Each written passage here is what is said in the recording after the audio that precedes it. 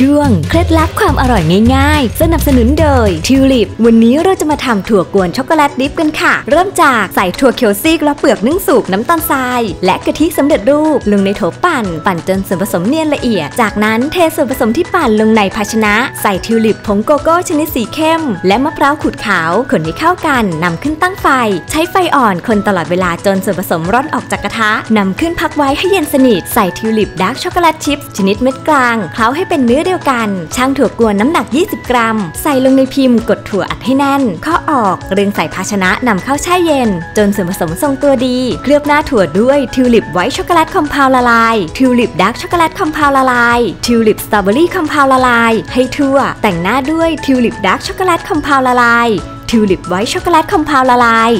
และตกแต่งด้วยดอกไม้น้ำตาล วางลงบนภาชนะ พักไว้ให้ส่วนผสมทรงตัวดี เพียงเท่านี้ก็พร้อมเสิร์ฟแล้วล่ะค่ะ